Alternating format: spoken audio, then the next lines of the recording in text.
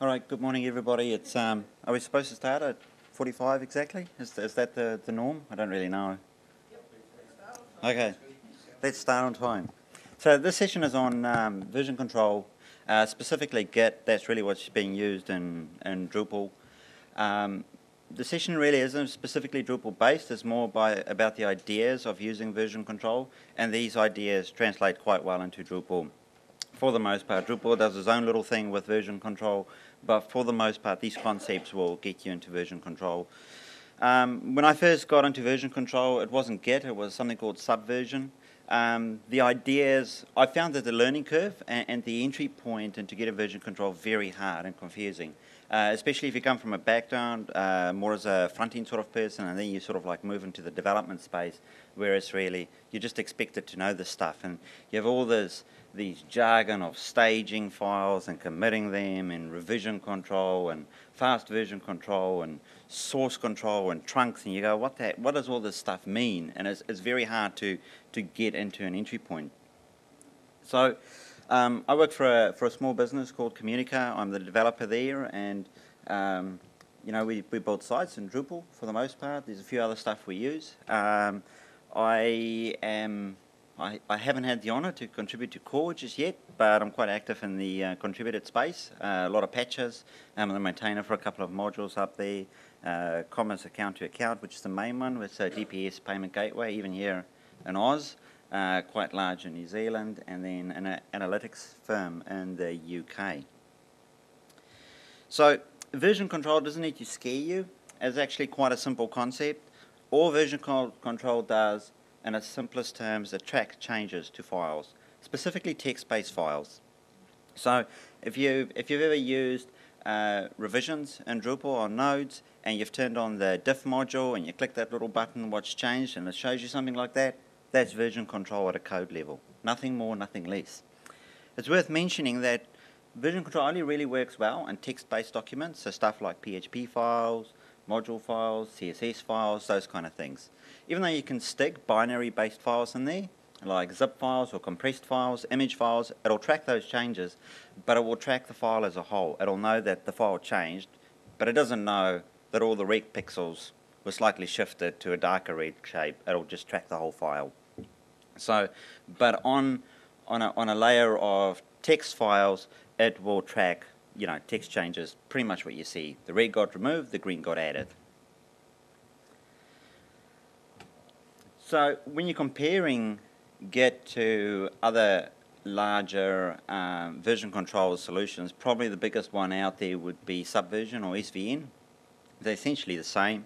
Uh, Git works quite different to those. Those other service, those other version control system uses something like a centralized server. So for you to do anything significant, like you want to develop a new branch, and I'll explain what those things are a little bit later, but you've got a new feature that you're working on, you have to have a connection to that server to do it. Just like if you want to view a website on the internet, you need a connection to some kind of web host to make that work. So Git works different, it works local. So as soon as you make a copy of the version control repository, which, which is the bit that tracks all the changes, uh, you have everything local, all the history forever. So if you like clone down Drupal from from um, Drupal.org, you get all the changes tracked from Drupal 4. And so it's insane how much data is there. So that, that's a, a good thing, a bad thing. You can clean that up over time. I mean, if you take like the span of Drupal, there's thousands and thousands and thousands of commits.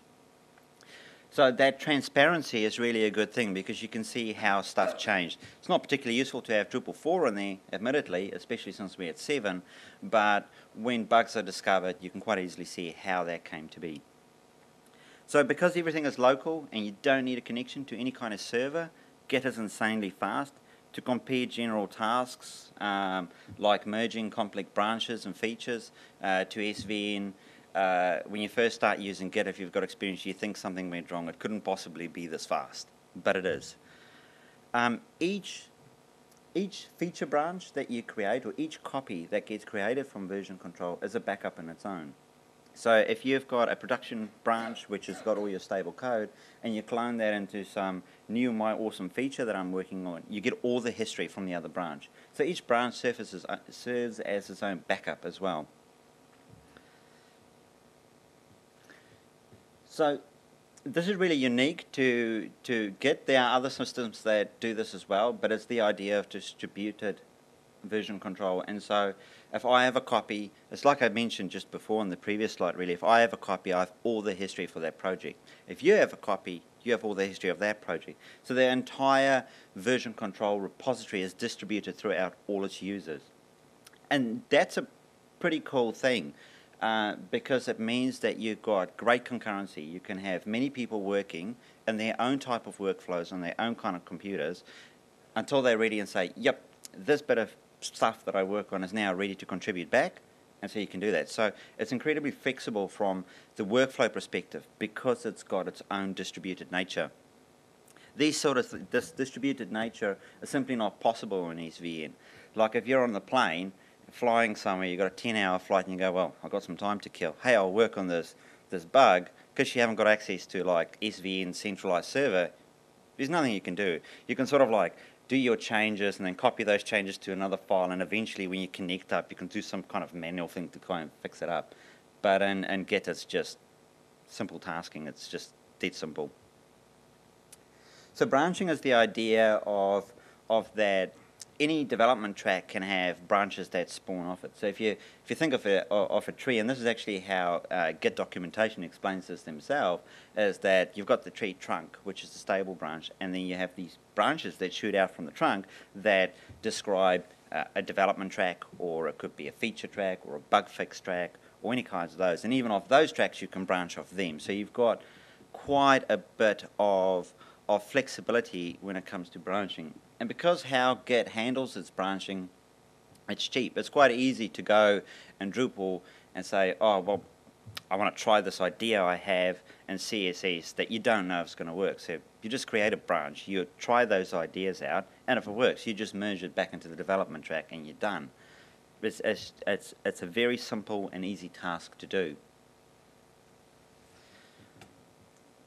So workflows. Um, this is where things start getting a little bit interesting in terms of the options that you have. Pretty much it means that with Git you can do any kind of crazy workflow. You can have a dead simple workflow where if you're a developer by yourself that you just have one development track, one, one branch that you work on and you just do commits against that branch and that's it, you're done. You can move on some bigger spaces, if you like, start working on larger projects that has a testing team or security team or one of those kind of things, or, or have some more more critical business needs where you know these are business critical functions, then maybe you've got some some requirement where you've got a junior developer that creates a feature branch because they're working on some kind of some kind of feature that needs to be implemented, and they merge that up to the development track where maybe there's some kind of peer review system and so another developer can check over the work and if that's happy they can move that into um, and this slide is called the release branch but it's quite often called the testing branch where they can have a test team go and review those changes and then it can eventually move up into the green area which is master.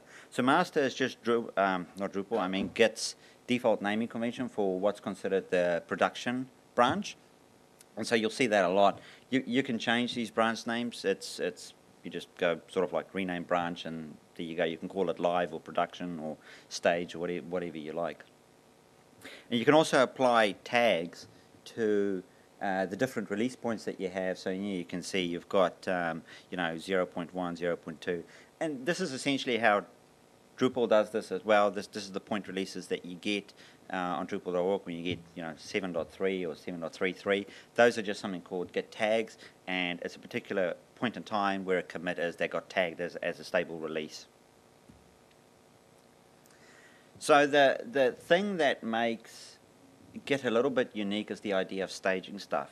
And truth be told, I've never really understand why they called it staging because it, it really doesn't make any sense to the idea that before you can contribute a change to version control, you have to stage the change.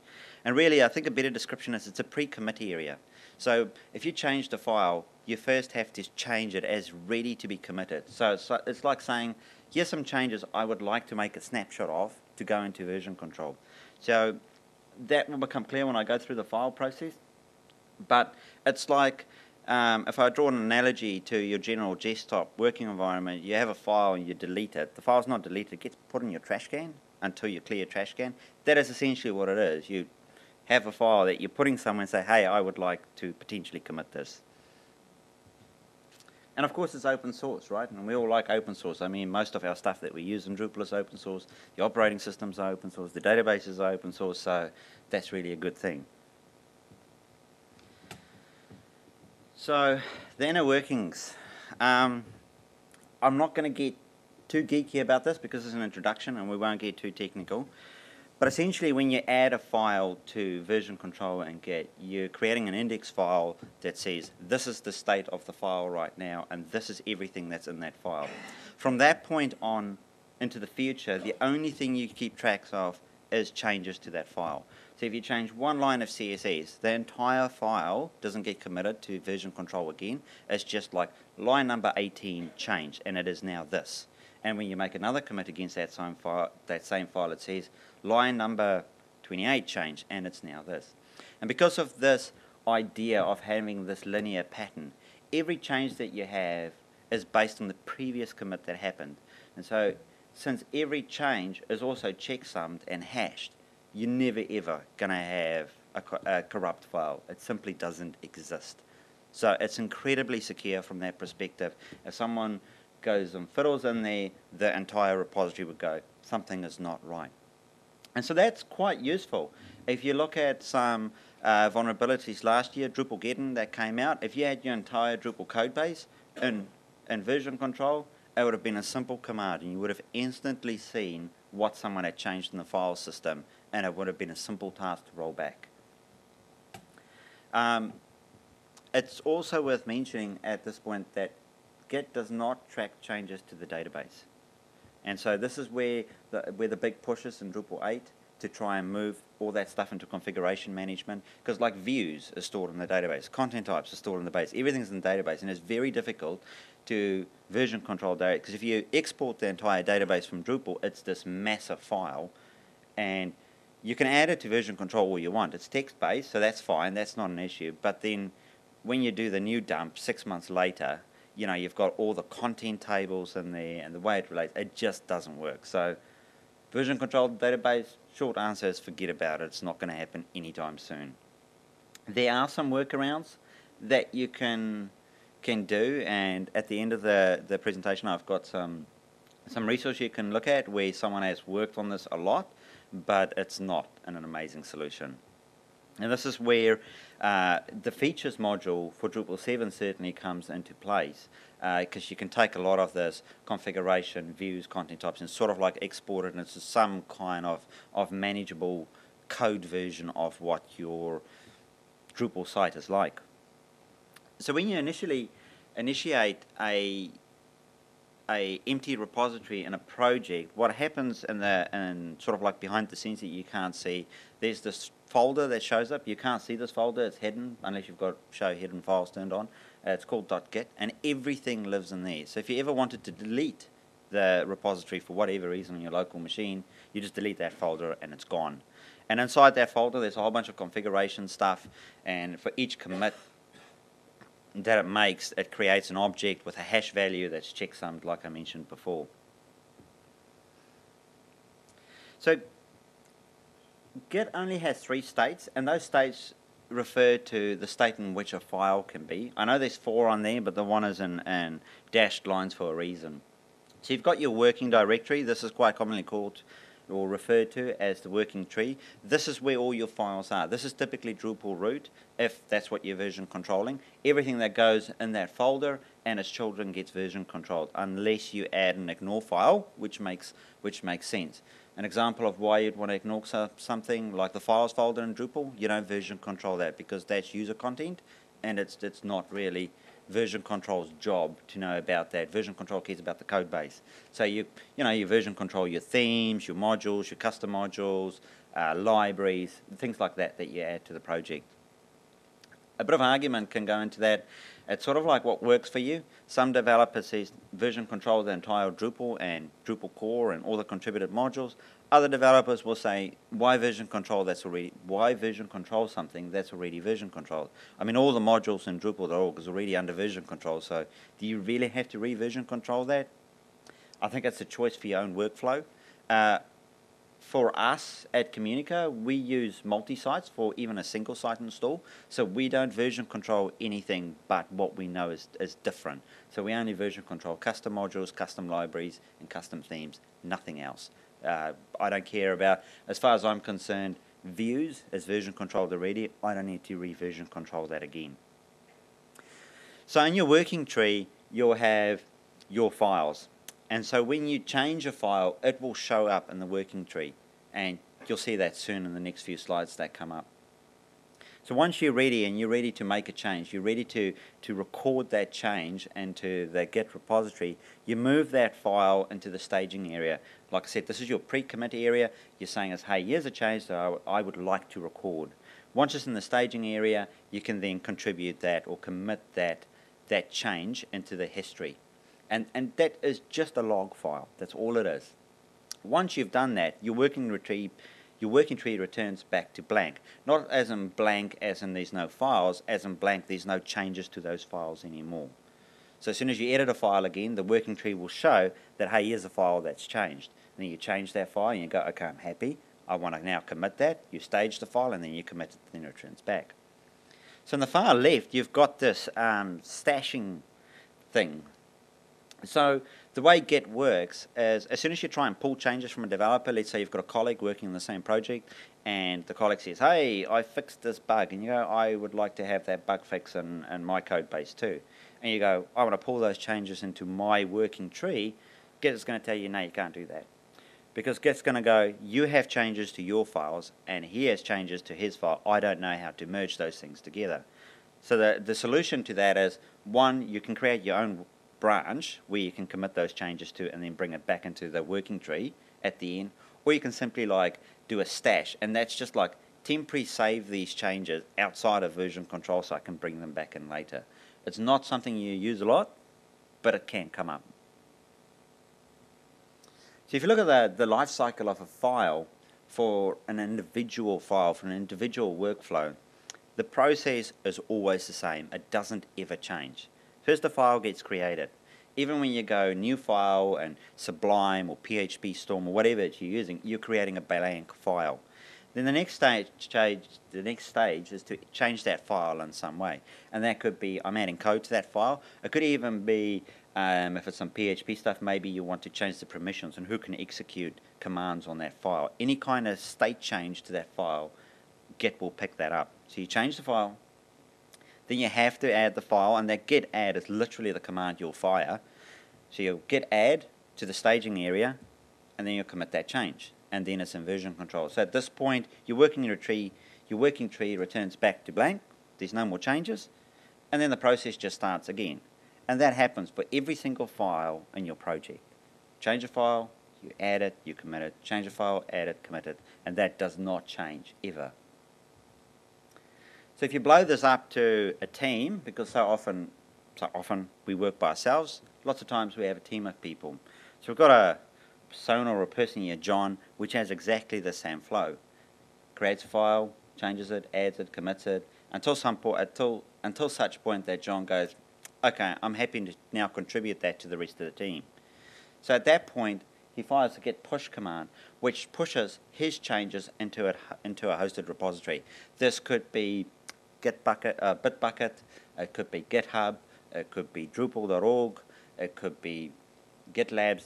There's plenty of solutions out there that offer hosted service. You can even run your own hosted service if you want to do some projects like Gitolite or Gitosis will can do that for you. But you have to install that in the server and it sort of like becomes an admin thing.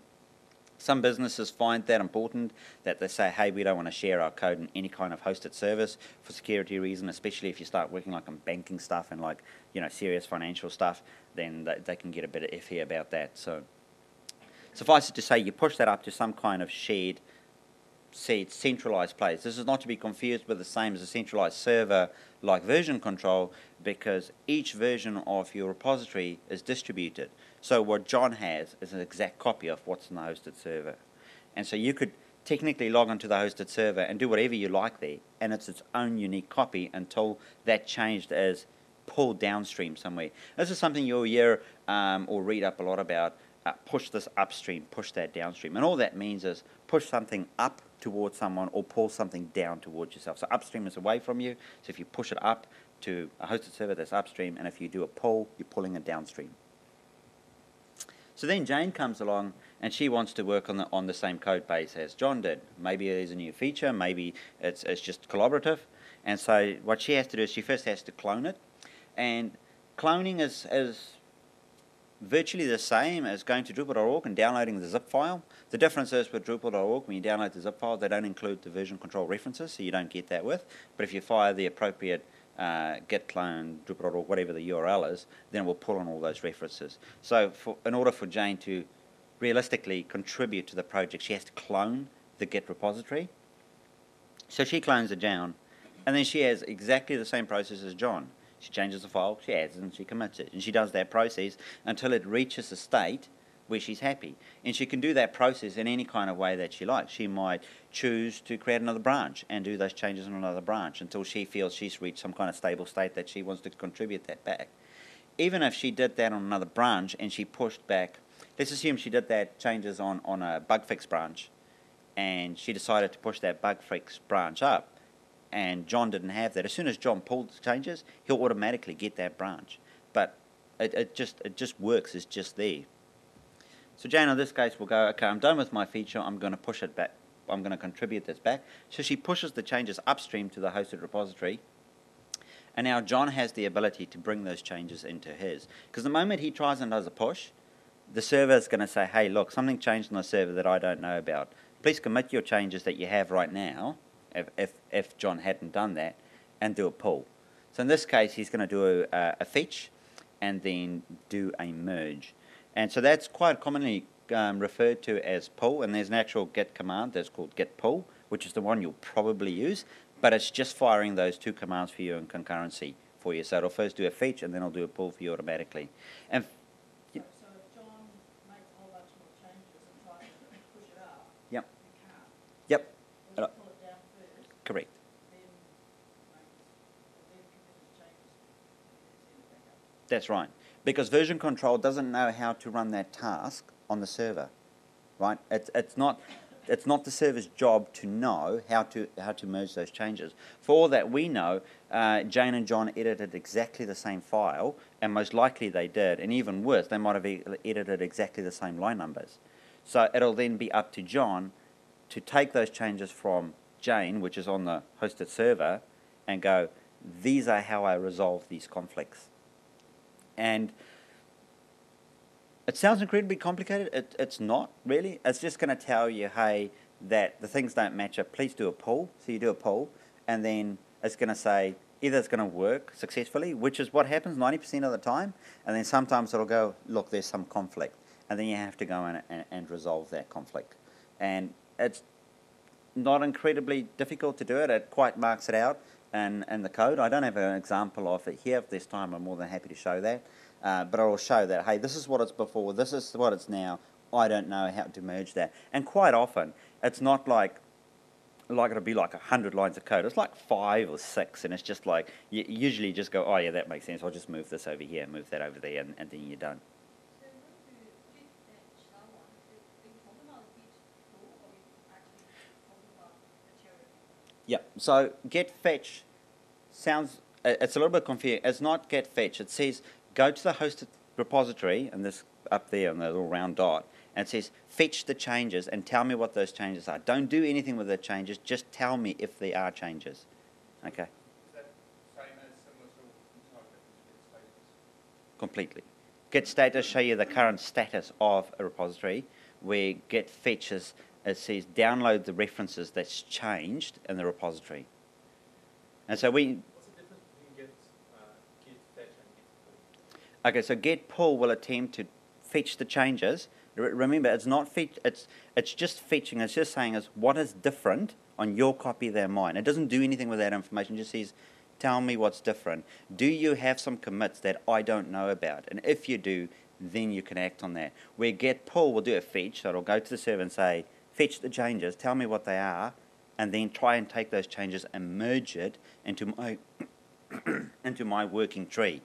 So git pull is just a shorthand for doing git fetch and then git merge manually. So Jane can't do git fetch first up, can she? Just do a git clone first. Yeah, well, git clone is just the process of getting the repository on a computer. If she's done, if she's done the first bit, she's done a git clone, she can instantly do a git fetch, right there and then Good. can't just fetch it. Right now, she can. Yeah, yeah, she has to first clone it to, to get it, and then she can do a fetch. And so, because John gets that bit to fetch the changes and merge it, so does Jane. And so that process just continues. And so, whether there's two people working it, or 100 or 1,000, the process is the same. It doesn't change at all. So when, the, when we blow this up to the flow of how a project works, um, like I mentioned earlier on, it gets very flexible with your workflow. And um, I'm going to show three examples here. These are the three common ones out there. This is typically what you have in a very, very small web shop or a, just a developer by himself. And, you know, we throw this term out there, developers. This is for themers. This is for anyone who makes any kind of text-based change. Okay, it's not just for, for developers who are hardcore people. Um, so, in this case, the person has a development track, which is the main branch that they're working on and, and rolling out new, new, new features or scope or whatever they get asked to do. And then the person might have a crazy idea and say, hey, I heard about this new awesome CSS compiler called libsass, and I'm going to change my grid system to something else. And so they'll go and try it out. They don't know if that idea is going to work out. They're sort of like in a prototyping discovery phase and go, is this going to work? So a good way to do that is to create a separate branch and try that out. Because there's actually an arrow missing there. As soon as the person wants to create another branch, they'll create it from an existing branch. So when you're working, you always have one checked out branch, which is what you're working on. That could be your master branch, which is production, or it could be your development. If the person is developing, it's most likely the development branch, which means at the point that they create a new branch, they create a branch with all the history from the branch that they're creating it on. So if I go get branch create, and I've got development checked out, I get all of development's copy into my feature branch.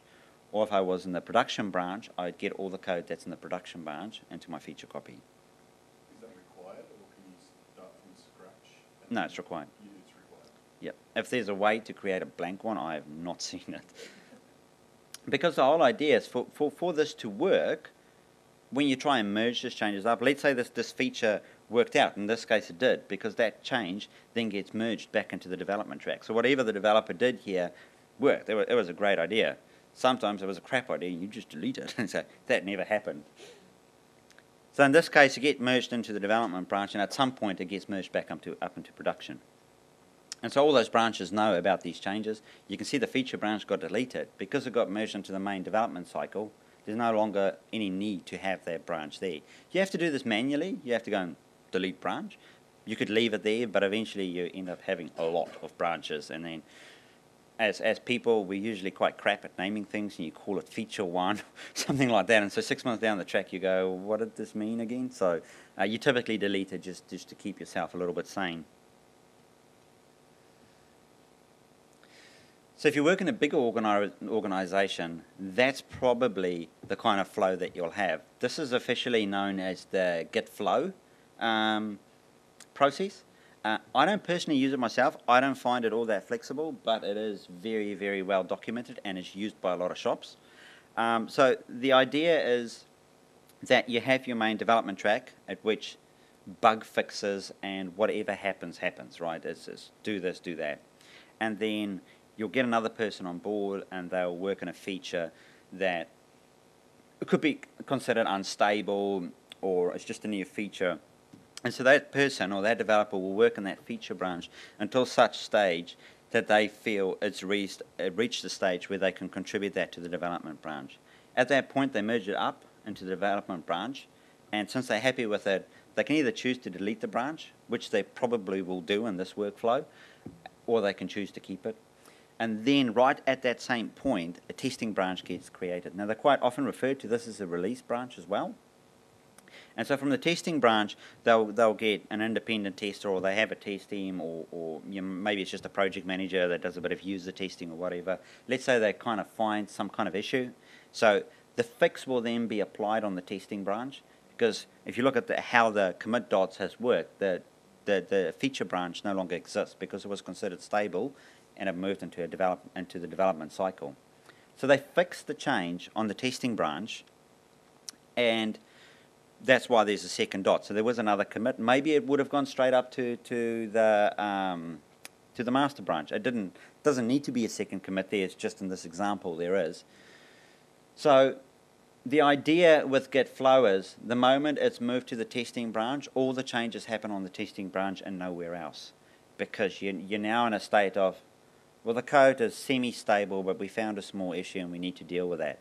So it always happens on that. Once that has reached a sign-off point by whomever the, the official is that makes that kind of decision, it gets moved up into the production branch.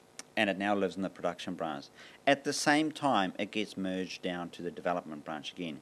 Because if you look at how that's worked, clearly, if it didn't move down to the development branch, there would be a commit in the system that development branch doesn't know about. So it has to move down. Once that happens, the testing branch gets deleted.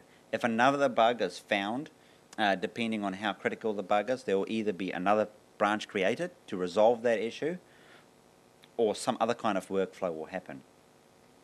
But of course, you know, as, as, as developers or, or as the, the, the principle of that all software is broken is sometimes we screw up and we have mistakes. So sometimes with this kind of process, which is typically and mid to enterprise level level businesses that use it, is that the process of getting anything deployed into production is usually too long because you have your development cycle and then, you know, some peer review system usually, and then a testing cycle. And so if there's some critical bug and it needs to be fixed right now, we need to account for that, or we need to account for that. And so a great example would that be was with the Drupalgeddon hack. So I don't know if anyone was familiar with that, but that was a pretty decent one, right? So you don't have the time luxury to deal with a whole development cycle to fix that. So you need to allow a way to deal with that. So what would happen is this would typically happen directly on the server because these are business critical issues that, uh, that you would have to deal with. So you create something called a hot fix branch. You'll do this directly on the server. You'll take, you'll clone that directly from the production branch because that's your stable code base that you know and trust, and you do your fix. So in the example of Drupalgeddon, you replace the database.inc file, which is where the vulnerability was. Moment you've done that, you merge it back straight into production again. So now your Drupal core or, or, your, your production version of that site is stable again, and you merge that same information down to your development track so that the development, development track has that change too. Is it an automated process, or do you have to push it to both? You have to do it manually. So if, if you've got continuous integration set up, you can do that. Obviously not the bug fix thing because it wouldn't know about it. And so, but if you've got full continuous integration set up, you can you can solve even that bit with continuous integration. But doing continuous integration is really really hard and takes a long time to do very well. So you'll find that most places just do this manually and go git push, log onto the server, git pull, git merge, or whatever the, the commands are that they need to fire.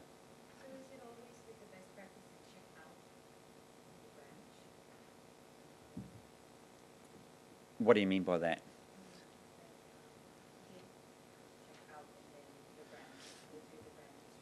Okay, so, so checkout doesn't mean um, checkout means return my code to a stable state. So if you had a file that you changed and you go git checkout index.php, what it will do, it will revert whatever changes you made to the index.php to whatever version control knows that it should be. Does that make sense?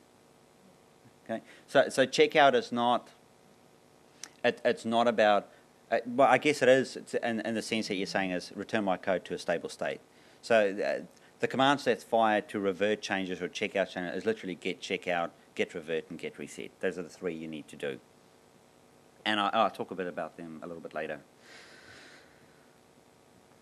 So this is the process we actually use, and this is not that dissimilar from from the Git flow previous example, but it, I guess it abstracts out the idea of independent deployability a little bit better. So, you know, you scope out a job or you have an existing job, and the client come back. They never come back and say we want this one little change, right? There's always like ten things, and so you're going as well. Gosh, these ten things is hundred hours worth of work, and so you go well how do I independently deploy each feature on its own? So, because one of the tasks might be five hours worth of work and one of mine might be 30 hours worth of work. You're obviously not going to finish them at the same time. So the idea is that you clone directly down from from the green dots from the master branch. And the only reason I didn't include the arrows in there is because it would have made the, made the graph insane. So you clone down from, not clone down, that's the wrong term, you create a new branch from the development track, from the sorry, the production branch, the master branch, and then you make the changes to the branch that you're working on. So in this case, we're working on a feature called related content, and so you make all the changes that's relevant to related content on the related content branch, and only that branch. If you muck up, there are some things you can do to resolve it, but it's really painful. It just my suggestion would be is just be disciplined enough not to do that because it's difficult to fix. You might also have another developer working on the geofencing thing, which is a much bigger job to do. So that developer is working on that branch and that branch only. Like, you, you know, your, your front end people might be working uh, on the infamous IE bug, or you know, someone might be working on some other bug. And so the idea is at any point, once it, once one of these features reach a stable state, you can merge that into stage. So stage copy is typically the copy you show your client, to get sign off on, or for us it is anyway. So the client usually gets access and you go, hey, we've deployed this awesome geofencing functionality, go give it a test. And the client comes back, that's amazing. And that means we can deploy just that change to production without having completed related content, the IE bug, or the, um, the other one, the notice, the notice error. So it gives us independent deployability, which is very, very helpful. I mean, we've all had that and go, well, we can't really push this up because too much code changed. We have to do it in one big chunk, and it just makes the project lag on. So it's really cool to independently deploy these things if you can. So Git is unfortunately a command line tool. Um, at some point, the reality is, is you're going to have to suck it up and learn it. Um, GUIs can take you a long way, and in fact, my, my workflow is about 50-50 split about using a GUI. I am not a die-hard person that says, no, command line. I can do all the commands in uh, command line, and if you don't have something like continuous integration set up, the reality is at some point, you're going to have to shell command into your server and run one of these commands in order to get it. And at some point, something is not going to work, and you're going to have to fix something. So you're going to have to learn it at some point. That said, from a, from a GUI perspective, there are some great applications out there. Uh, there's not enough time in this talk to go through them, but some of the big ones out there is uh, GitHub, desktop version. There, there's one you can download directly from GitHub. There's uh, one from Atlassian uh, called SourceTree. That's pretty good. Tower is amazing. Um, I don't know who makes that. However, if you get Tower, I urge you to get version 1. Version 2 sucks. Um, and it's just really cool, right? It takes this idea of creating another branch really easy. It's drag and drop. You take the branch, you drag it up, and it says, hey, would you like to create a new branch? You go, well, yes, I do. And it's done. And you make your changes, you commit it, and you go, hey, I want to merge this. And you just drag and drop the branches on top of each other, and it goes, hey, would you like to merge it? And you go, well, yes, I do. And if, it's, if there's a, a conflict, it'll put a nice big red dot there and say, there's an issue in this file. So you can open that file and fix it. And so I find those things really useful, where from the command line perspective, those things are a little bit harder to deal with, but still very possible. What was the second one you said? Tower. Tower. Tower, it's a Mac only app, so if you're on Windows, no luck. Yep. Uh, there's some other ones. There's Gitbox, uh, that's quite popular. There's SmartGit, or is it SmartGit? I think it's called SmartGit. I don't like that one because they've decided that they'll change the terminology of Git, so it's difficult to relate that information into um, into command line when you have to do it and you go, what the hell does this mean? So I'm not a big fan of that. The, the best one I've used so far is definitely Tower, but I hate Tower 2, which is the one they're currently selling. So I don't know if you can still purchase version 1. Uh, SourceTree is not bad either. I've not really significantly used the uh, GitHub one. And is there one of these that gives you that visualization of the dots in effect so you don't get lost? Yeah, absolutely. Absolutely. Um, if there's time, come see me because we're running pretty tight in time. So um, I can show that if everyone wants to stay a little bit. There's no, no, no issue there. So the process of, of doing that, this is actually a real live example of, of the process that you do. So I've got some kind of project, it's just some pseudocode that I wrote. And so the first thing you'd have to do is you first have to initialize an empty repository. And so that's literally the command. Um, it's the git init command. So I'll just go back one slide because I didn't explain this. If you look at the top, the git syntax is always the git keyword followed by a subcommand. It's the same for every single command. Those are the main ones you're going to use, init, add, commit, log, status, so on and so forth. Those are the main, the main ones. And then quite often you can pass additional flags, it's like additional little operators to the command. For example, if you do git log, you might not want to see the entire log. You might only want to show a short little log message. Then what you can do is you can strip out a lot of that content by passing additional flags to the command. So the first thing you'll do is you'll do a git init, which initializes an empty repository.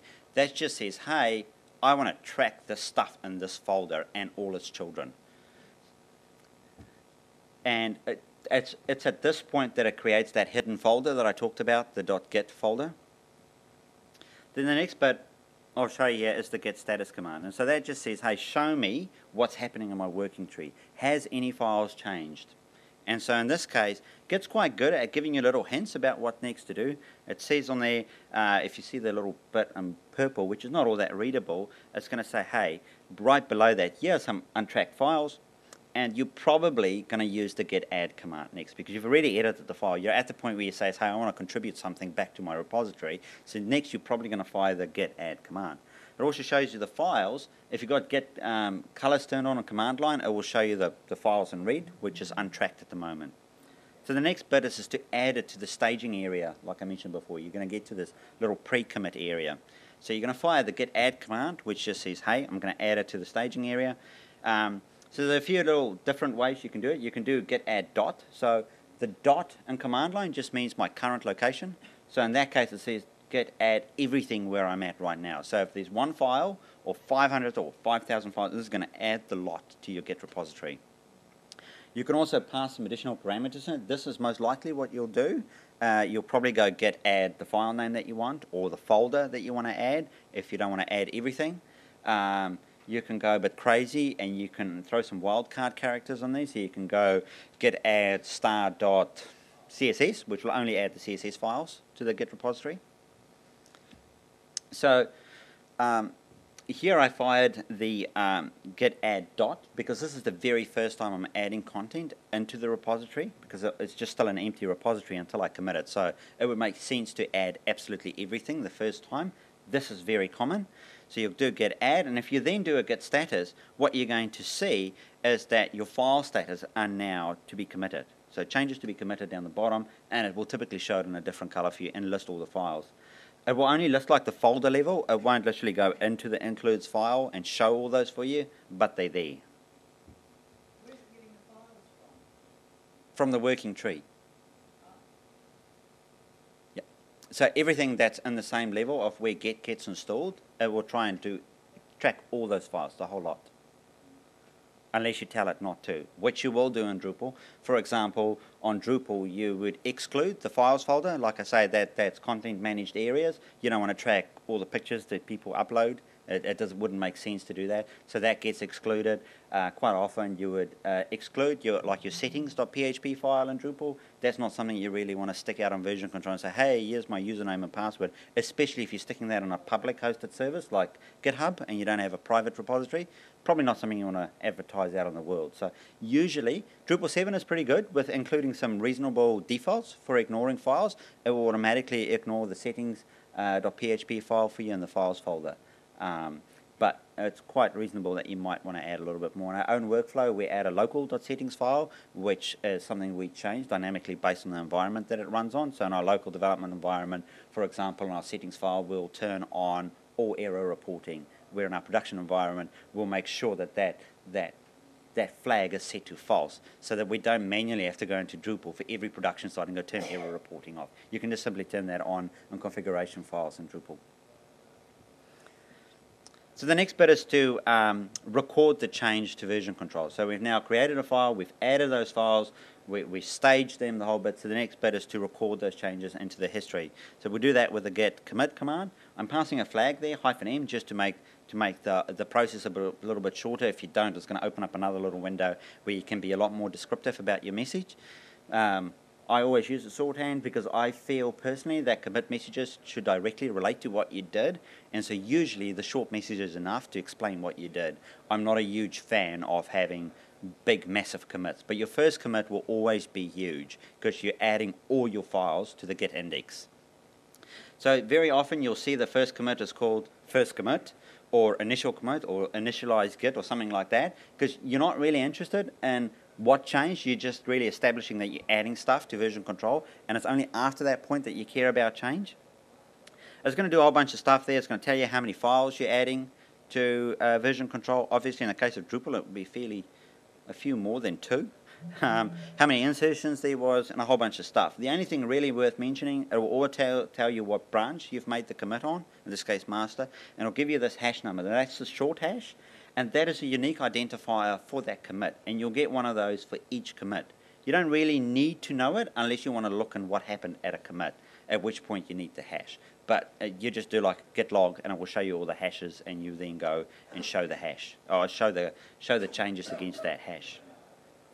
So after we've committed it, if you do the git log command, it will show you exactly what it is. You see the full commit hash, which is I forget how many characters, many, and that's a 250. Uh, it's a it's a SHA-1 hash for anyone who cares, and it's checksummed. And so it'll show who the committer is and what date it happened. And this is a great way I don't want to say to assign blame, but if something happened in a project at some point, there's another command you can fire git blame. It's literally called git blame, and you can see who edited what line of code when. And so sometimes when when you know you're working with someone, go, oh, I didn't change that for you. Go, oh, we'll just check about that. Right. So now you're going to this whole process of editing your files. Right. You want to, you, you know, you write more CSS, you add TPL files, you do whatever you need to do in the project. So I've edited my files. If I now fire the git status command, you'll see that no longer does it say new files to be added. It now says, hey, these are files that change. These are modified files. And so it'll again give you a little hint there. You probably want to use git add to add this to the staging area once you're happy. So what I'm going to do in this case is I'm just going to add the first one because I only really want to commit the index file changes here. So I'll go git add index.php. And if you then fire a git status, you'll now see that you've got two states of files. You have one that's to be staged, or one, sorry, one that is staged, and one that's still just known as modified, but it's not staged. When you get a little bit more advanced, you can have the index file in both states. So you can you can say I only want to commit this section of what was changed, but that's that's that gets a little bit further on, but it is possible. So I'll then commit that change and if you do a git status then you'll see that the working tree from what I've just committed has returned back to blank except for what for my unstaged file because Git doesn't know what to do with that until I tell it to do that. Finally if you do a git log you now see you've got two log messages uh, both describing those things and obviously they're both made by me. So it can be quite useful when you want to see well what did I actually change in this file right you, I mean you add, you add spaces and maybe you indent stuff more so if you fire the git um, the git diff command, which is what I did over here. This happens on, on one line. I just made it two columns for readability's sake because I couldn't fit it. Uh, it'll show you what changed. And anyone who's ever downloaded a patch of Drupal.org, that's exactly what it looks like. In fact, that is exactly the command you'll fire. You'll just read it into a text file. That is a patch file right there and then. It says, hey, when you want to run this, um, that's exactly what's going to change. The bits in blue there, the at at sign, refers to the line numbers that changed. Like I said, Git only tracks what's changed. It doesn't care about the rest of the file. It only gets added once, and then it just tracks the changes. So we know that from those lines and exactly how they relate to the line, line numbers can be a little bit confusing, but that's what it means. Those are the line numbers that changed. And then any of the little minus bits in red is what got removed from the file, and the bits in green is what got added to the file. Then you can use the git show command to show what's changed at any given commit. So since um, you know you, you might have a commit that's, that's three weeks old and you want to go, damn, what did I change again? I can't remember. You can use the git show command and you can pass the hash to it. You don't have to pass the entire full hash, which, which is a lot of characters, like usually five or six is enough. and it will return that result for you. And that's exactly it. Again, it's the same syntax as git diff in terms of what it's showing, what got removed, what got added. So a few more commands is git reset. So if you've done some crazy thing and you just want to revert the entire change that you've made, um, you can do git reset head. And that head keyword is written just like that in uppercase in version control. And that just refers to the current active branch that you're on. So if I'm working in a feature branch and I go git reset head, it means git reset the feature branch I'm on. If I'm on master branch, it will refer to the master branch. And so it's just a, an easy way to, to call the branch that you're on. Otherwise, you, you explicitly have to say, this is the branch I want to run this command on. And if you've got 10 or 15 of these things, that can become a little bit painful. Git push pushes any changes upstream to a hosted server somewhere. Uh, GitHub, Gitbucket, one of those things. Git fetch we already talked about. That literally just download the object references that changed from the repository. It doesn't do anything with that information. Git merge takes those history, that changes that's come in, and merges it into your current working tree. Git pull just do those two things together for you. So that's probably the one you're going to use. And then finally, there's some really good resources there. Obviously, it's a bit of a boring read, really, uh, is Git's direct documentation. I find Bitbucket's documentation amazing. That's a great place to go to. Um, Wikipedia has some has some good information on it as well. Uh, I really like learning by video content. So there's one um, from NetTuts. It is a paid service, but it's not all that expensive. That will uh, show a lot of demos of these commands um, and, and how they work and how to resolve conflicts and those kind of things. And then there's there's an absolute great series by Chris Shattuck from Build the Module, which is a Drupal specialist, and he specifically talk about version controlling Drupal changes. And he'll go through a lot of stuff like features and what can you do to try and do some changes in the database and try and version control that, and some good practices and how to go about version controlling Drupal specifically. Are there any questions? Sorry, maybe my, my earlier question was, at which point, uh, do you need to create branches? Will you be creating branches? I create I create a branch for every task that I have. So if I have a task that says um, build a new view in Drupal, I'll create a branch for that because I'll most likely take that view and export it into features. I'll commit that features to version control, and then I'll merge it into the staging branch. I'll get sign off from the client from that staging branch. So if we go? Never ever. Not on my workflow. This, this is my own preferred workflow. This is not an established standard. I will never ever, ever, ever, ever merge stage upstream. Ever. It will never ever happen. That's why you don't see an arrow going from stage to production because developers can be lazy and they'll contribute something to in stage that's not been tested and hasn't got sign off. So for me, in our workflow, you have to push it from the staging you have to push it from your feature branch. My staging branch is my client sign off branch. They're happy with the feature. We've tested our deployment. We know that it works. We'll move just that change up into production. I've got a question about um, merging. So where you've got two people working on the same file and you need to merge it and you need to make manual changes to merge it. Yep. How does it version control that merge document? Does that Yep. add a sort of What it does is it adds some code to your document. So it, it'll go, you're always on a particular branch when you're going to do a merge. So let's say you want to move changes into stage. So what you're going to do is you're going to switch to your stage branch and you're going to fire a command. Let's say we're committing that first change um, related content into it. So the command's going to be git merge feature forward slash related content. And so Git's going to come back, either it worked, or it's going to say, whoa, there's been an issue. And it's going to say the issue was, let's say it's on index.php. When you open that file up, there will be a whole bunch of um, arrows and stuff that shows this is what it was, this is what it's going to be, and you can just manually resolve that. It, it's dead simple. It's, it's, it's quite clear. Uh, um, it looks scary as hell, but when you actually look at the lines of code, it, it's not a big deal. If you use something like Tower, you might know intrinsically that, hey, my new version that I've just committed is right. I don't care what's in the other version. It's really convenient. You can right click and say resolve using my copy as opposed to the known copy. And so from that perspective, it's really good, but it's not always the case. I think these guys are going to kick me out. You guys will have to talk to me after. Yeah. This was a quick question about uh, Drush. Yep. When I'm using Drush, sometimes it says, it re- it references Git, because I don't actually have Git repositories on my stuff. How does Drush and Git work together, and is that seamless and automatic? I have no idea. I've never seen anything of Drush and Git work together. That's okay, all right?